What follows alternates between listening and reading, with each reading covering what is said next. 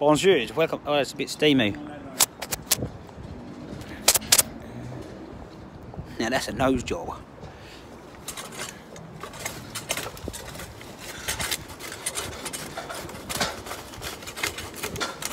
there's a few dodgy bits there. Oh, that's that bit out of the way. That's that bit out of the way. That's, yeah, that's that smooth. Right, what we're doing is, as you can see, we're peeling it off the top of the roof from the apex.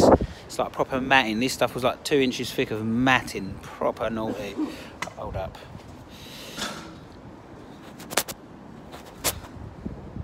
A bit better.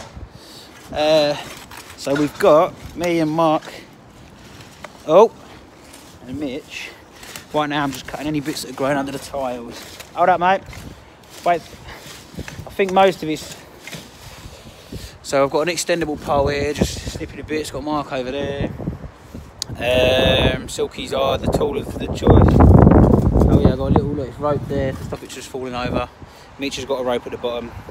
What are we saying? Are we ready to give it a pull? I've got it roped. Obviously, I'm roped in to the tree for safety. Anyway, I'll uh, I'll cut this one out, and we'll uh, when the money shot's there, I will show you.